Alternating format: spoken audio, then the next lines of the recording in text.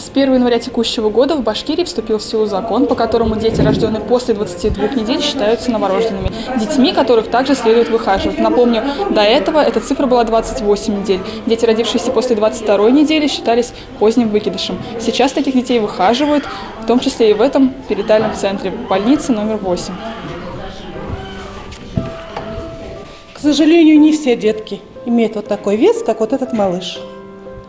Он доношенный, абсолютно здоровый, сытый, счастливый и готов общаться. Мы на сегодня не имеем права отставать от всех, поскольку 20 лет назад в руке у акушера-гинеколога была только деревянная трубочка, стетоскоп.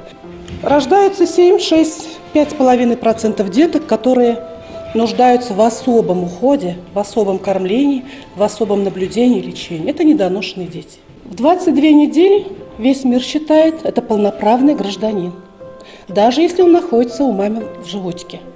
Функциональные системы плода практически зрелые. И вот именно с 22 недель уже сформирована почти структура головного мозга, можно заниматься выхаживанием этих деток. Принимается ребеночек в стерильный, теплый, обязательно должно быть тепло. Вы чувствуете, на жарко даже, должно быть очень тепло. И сразу он должен помещаться в инкубатор. Он не должен понять, что он родился. Вот как.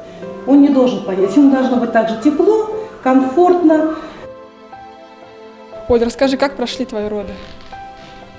Ой, ну, вообще хорошо. Как бы отлично все. То есть я думала, что будет, будет все страшно, будет все ужасно. Нет, очень хорошо. Мне даже понравилось. Больно не было? Нет, больно не было. То есть ни, ничего не ощущала.